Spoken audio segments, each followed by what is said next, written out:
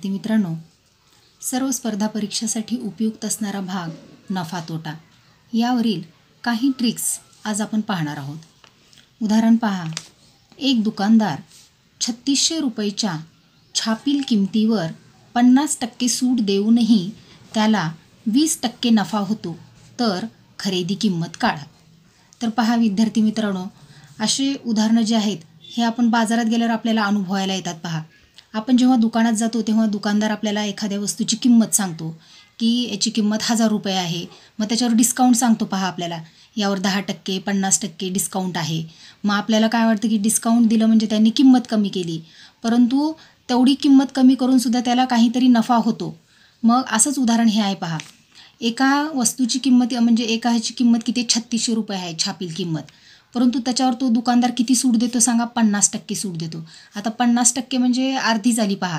म्हणजे पन्नास टक्के सूट दिल्यामुळे ती वस्तू ती जी किंमत वस्तू आहे त्याची मूळ किंमत अठराशे रुपये असणार आहे. बरोबर आहे? म्हणजे ह्याच्या अर्धी असणार आहे. मग एवढा असूनसुद्धा त्याला वीस टक्के नफा होतो म्हणलं आहे मग आपल्याला काय काढायचं आहे सांगा? खरेदी किंमत काढायचं आहे उदाहरण आपल्याला खूप अवघड वाटतं परंतु आपण ट्रिक्सनुसार सोडूयात पहा. आता पन्नास टक्के सूट म्हणजेच काय सांगा? की शंभर रुपयाची जर वस्तू असेल तर त्याच्यावर त्यांनी किती टक्के सूट देते सांगा? पन्नास रुपये सूट देते.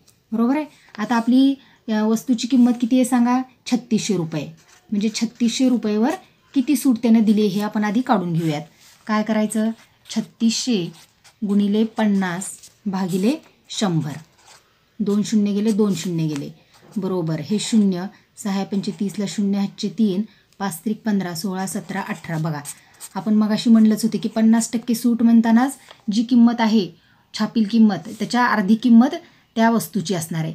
म्हणजे त्या वस्तूची मूळ किंमत किती आहे सांगा? अठराशे रुपये. म्हणजे त्या दुकानदारानं ती वस्तू अठराशे रुपयाला विकली. म्हणजे ही विक्री किंमत झाली. काय झाली सांगा ही? विक्री किंमत झाली. किती झाली? अठराशे रुपये.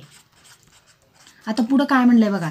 म्हणजे एवढ्याला विकूनसुद्धा त्याला वीस टक्के नफा होतो म्हणलं आहे म्हणजे आता वीस टक्के नफा म्हणजेच काय सांगा? ह्याचा अर्थ काय होतो?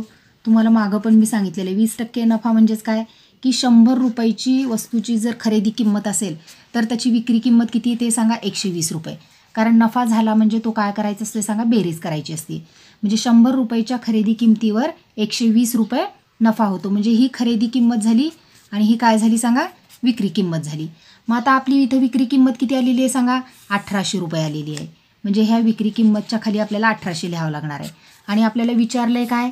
खरेदी किंमत विचारलेली आहे. म्हणून या ठिकाणी आपण प्रश्नचिन्ह देऊयात. आता आपण सोडूयात हे. तिरकस गुणाकार करू शंभर गुणिले अठराशे भागिले काय येणार सांगा?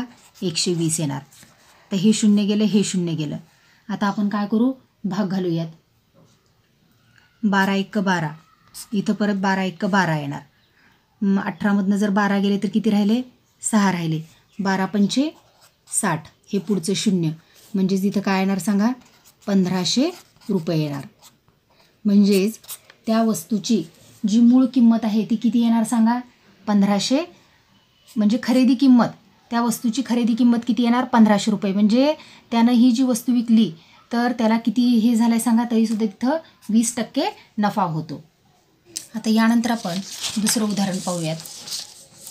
एक वस्तू सतराशे वीस रुपयेला विकल्याने तिच्या खरेदी इतका नफा होतो तर वस्तूची खरेदी किंमत काढा. बघा काय म्हणले सांगा? एक वस्तू किती रुपयाला विकली आहे सांगा? सतराशे वीस रुपयाला विकली आहे तर तिच्या खरेदी इतका त्याला नफा होतो म्हणलं आहे तर वस्तूची खरेदी किंमत काढा. तर समजा एखाद्या वस्तूची जर खरेदी किंमत असेल शंभर रुपये तर तिच्या खरेदी इतका नफा त्याला होतो म्हणलं आहे म्हणजेच ह्याला नफा किती होणार आहे सांगा? वी दोनशे रुपये होणार आहे. कारण खरेदी किती आहे सांगा? शंभर. म्हणजेच ह्या शंभरमध्ये जर आपण शंभर मिसळलं तर दोनशे येणार. म्हणजेच हा त्याला काय होतो सांगा? होणारा त्याचा नफा आहे. तर वस्तूची खरेदी किंमत आपल्याला काढा म्हणलेलं आहे. तर या ठिकाणी ही झाली खरेदी किंमत आणि ही झाली विक्री किंमत. कारण सांगा एक वस्तू शंभर रुपयाची वस्तू जर आपण दोनशे रुपयाला विकली तर त्याला वरचा जो नफा झालेला आहे शंभर रुपये तो खरेदी किमती इतका झाला का नाही ही जर गोष्ट तुमच्या लक्षात आली तर पुढची पायरी तुम्हाला कळणार आहे पहा.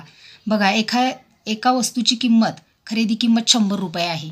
जर आपण ती वस्तू दोनशे रुपयाला विकली तर त्याला नफा झाला बरोबर आहे? आणि नफा किती झाला इथं? शंभर रुपये झाला आहे. आणि तो शंभर रुपये जो नफा आहे तो या खरेदी किमती एवढाच आहे. म्हणजे ही खरेदी किंमत आणि ही विक्री किंमत आहे. तर उदाहरणामध्ये आपल्याला सतराशे वीस रुपये विक्री किंमत दिलेली आहे पहा. सतराशे वीस रुपये काय दिली आहे? विक्री किंमत. मग आपल्याला काय काढा म्हणजे त्या वस्तूची खरेदी किंमत काढा. म्हणजे या खरेदी किंमतीच्या ठिकाणी आपण प्रश्नचिन्ह करूयात. आता तिरकस गुणाकार करूयात आपण. सतराशे वीस गुणिले शंभर भागिले दोनशे येणार. या ठिकाणी हे दोन शून्य गेले हे दोन शून्य गेले. दोन्ही भाग घालूयात आपण बे एक बे. बे अठ्ठी सोळा. एक उरले बेसख्खी बारा. हे पुढचे शून्य. म्हणजे आठशे साठ रुपये जे आलं आपलं ती काय सांगा त्या वस्तूची खरेदी किंमत आहे. तर विद्यार्थी मित्रांनो तुम्ही या ठिकाणी असं सुद्धा करू शकता पहा की सतराशे वीस रुपयाची जी वस्तू आहे तिच्या खरेदी इतकाच नफा होतो म्हणलं आहे म्हणजे आपण जर सतराशे वीसला जर आपण दोननं भागलं तर म्हणजे ह्याच्या ही जी वस्तू आहे याची जी खरेदी किंमत आहे ह्याच्या एवढाच त्याला नफा होतो. म्हणजेच ह्याची दुप्पट होणार आहे. म्हणून आपण त्याला दोन्ही भागूयात. ब्याठी सोळा बेसक्की बारा शून्य. म्हणजे आठशे साठ रुपये ही काय झाली सांगा? खरेदी झाली. आता तुम्ही या खरेदीमध्येच या खरेदी एवढाच नफा त्याला झाला म्हणलं आहे म्हणजे आठशे साठ रुपये ह्याच्यामध्ये नफा मिसळून बघा तुम्ही. शून्य सहाचा बाराला दोन हातचाला एक आठ आणि आठ सोळा आणि एक सतरा बघा. सतराशे वीस रुपये इथं आलेला आहे. म्हणजे खरेदी एवढाच नफा जेव जेव्हा होतो तेव्हा आपल्याला जी किंमत दिलेली असते त्याला दोनने भागा. म्हणजे आपलं येणारं उत्तर जे आहे ती आपली काय निघते सांगा? खरेदी किंमत निघते.